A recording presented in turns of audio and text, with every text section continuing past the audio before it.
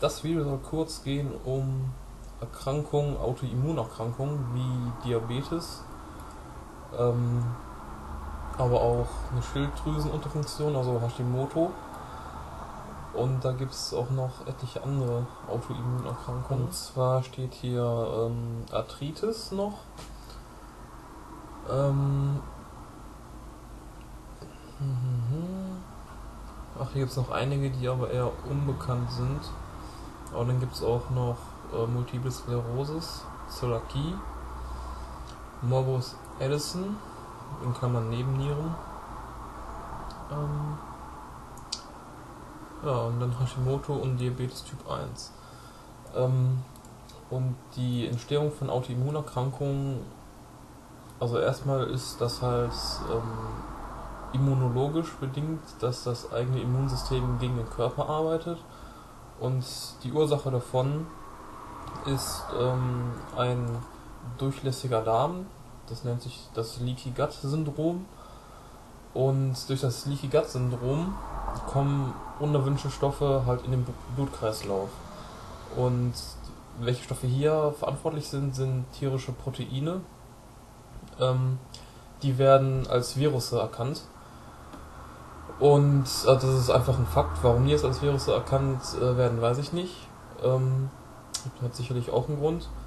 Und deswegen werden dafür vom Immunsystem halt Antikörper gebildet. Und die Antikörper finden aber noch andere Proteine im Körper, die ähm, ähnlich strukturiert sind. Weil man hat ja selber auch tierische Proteine. Man ist ein Tier und besteht aus tierischen Proteine. Und zum Beispiel die Antikörper gegen gegen Milchprotein, also wenn das Milchprotein in den Blutkreislauf kommt und dann Antikörper dagegen gebildet werden, die erkennen zum Beispiel noch 17 andere Proteine bzw. Aminosäuren in eigenem Körper, unter anderem Insulin produzierende Zellen. Ähm, die beinhalten Proteine, die dem Milchprotein sehr ähnlich sind und dann werden die natürlich auch von diesen Antikörpern angegriffen.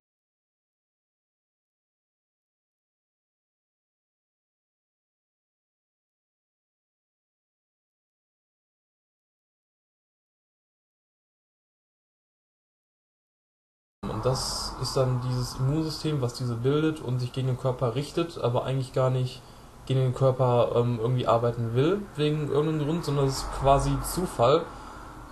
dass die werden einfach nur hergestellt, um die ähm, tierischen Proteine im Blutkreislauf zu bekämpfen, die fälschlicherweise durch den äh, leckenden Darm durchkommen. Und es dauert circa drei bis fünf Jahre, wo man dieses Leaky Gut Syndrom hat, bis ein Typ 1 Diabetes zum Beispiel entsteht.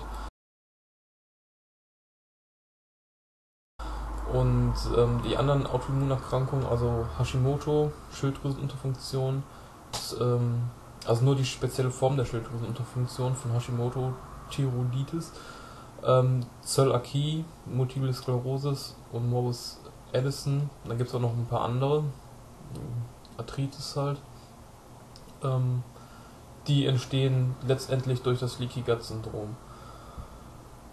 Ähm, die Lösung wäre eben auf diese tierischen Proteine zu verzichten.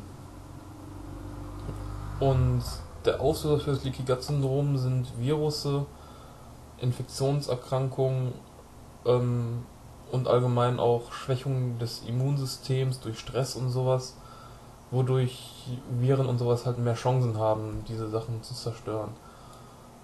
Aber ich informiere mich nochmal genauer über die Ursachen und über die Lösung, also die Lösung, die von McDougall genannt wird. Also das Video, was ich hier mache, das basiert auf ähm, ein Video von McDougall, was ich verlinken werde. Da werde ich auch eine kurze Sequenz verlinken, wo das genau erklärt wird, äh, worauf ich mich stütze. Und seine Lösung ist halt seine Starch Solution halt eben auf diese tierischen Proteine zu verzichten. Ähm, aber ich informiere mich nochmal komplexer, wie, wie ob es vielleicht noch alternative Wege gibt oder wie man ähm, das am besten umsetzt, ob man das von jetzt auf gleich macht. Und wie das ist, wenn man noch andere Komplikationen hat. Ob das dann überhaupt sofort so machbar ist oder wie man das halt langsamer machen kann, ob man irgendwie was erst reduziert die tierischen Produkte und so weiter und dann erstmal warten muss. Auf jeden Fall wollte ich schon mal ein Video machen über die Ursache und wie das alles miteinander zusammenhängt. Vielleicht erkennt sich der eine oder andere da ja wieder in diesen Autoimmunerkrankungen. Das heißt, wiedererkennen, vielleicht hat der eine oder andere die und die Ursache ist laut Dr. McDougall halt immer das Leaky Gut Syndrom. Vielleicht haben andere auch das Leaky Gut Syndrom und noch keine diese Autoimmunerkrankung. Und die Lösung ist halt letztendlich auf die tierischen Proteine zu verzichten, weil diese Erkrankungen nur dadurch entstehen. Wenn man halt keine tierischen Proteine zu sich nimmt, brauchen auch keine Antikörper dagegen gebildet werden und dann ähm, werden halt auch keine körpereigenen ähm, Proteine mehr zerstört. Also das heißt, man kann, wenn man auf tierische Produkte komplett verzichtet, seine Hashimoto, Diabetes Typ 1 und so weiter schlagartig bessern und auf Zeit, da muss ich auch noch recherchieren, wie lange das circa dauert, auch heilen dadurch. Yep.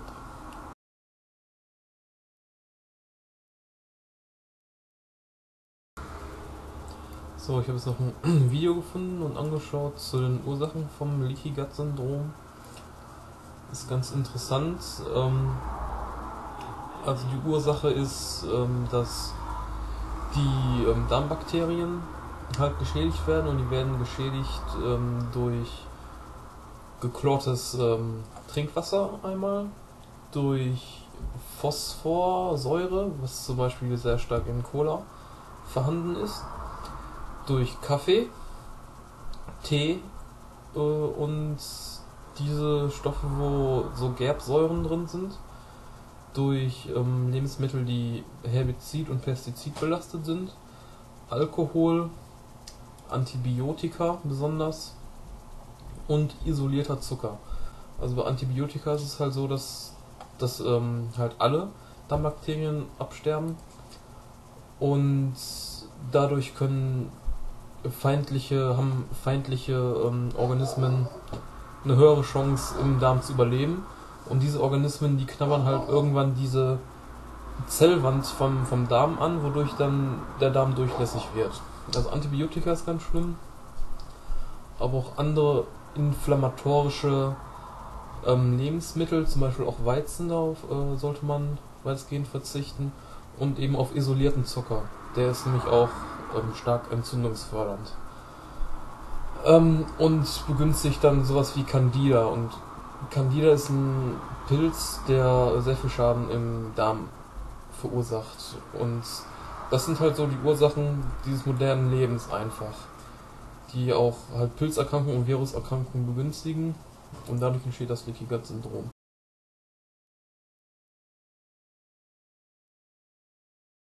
Und das Video werde ich dann auch verlinken.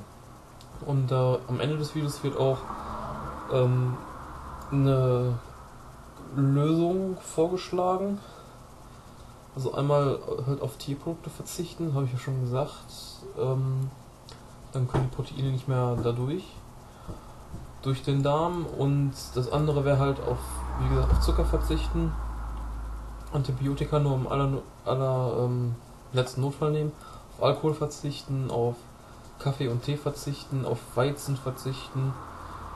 Ähm, dann repariert sich die Darmwand wieder weil man halt kein Futter mehr für diesen Candida liefert oder für die anderen Organismen, die ähm, dort sich aufgebaut haben und die damit anknabbern. Dann, kann, dann regeneriert sich die Darmwand von alleine. Und das kann man dann noch unterstützen mit ähm, Supplementen. Also wenn man diese Sachen erstmal aus der Ernährung raus hat, ähm, kann man zusätzlich Quercetin nehmen und Glutamin wird da beschrieben. Und wenn man das für ein paar Wochen genommen hat, das wird genau im Video beschrieben, das sollte man sich auf jeden Fall dafür angucken, kann man das dann noch mit Probiotika unterstützen. Das ist so die ähm, Lösung dafür. Und natürlich weit, weitestgehend auf tierische Produkte verzichten.